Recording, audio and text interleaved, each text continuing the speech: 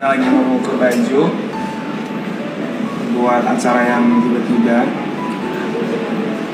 mau nikahan. Kabar bahagia tengah dirasakan pasang muda Torik Halilintar dan Aliyah Masaid. Akhirnya resmi menikah, Torik siapkan baju pernikahan jelang hari H nanti. Kisah asmara Torik Halilintar dan Aliyah Masaid tak henti-hentinya jadi perbincangan publik. Bahkan keduanya digadang-gadang akan segera melangsungkan pernikahan. Tentu kabar ini jadi kabar bahagia bagi penggemar keduanya. Torik bahkan tak ragu lagi ungkapkan rasa sayangnya ke Alia di depan publik. Keduanya tampak harmonis dan bahagia.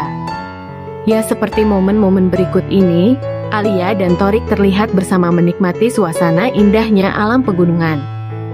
Usai lakukan aktivitas yang padat bahkan Alia dikabarkan sakit. Tak pelak Torik pun panik lekas membawa Alia ke rumah sakit untuk diobati. Dengan sigap Torik merawat Alia di kala sakit hingga sembuh.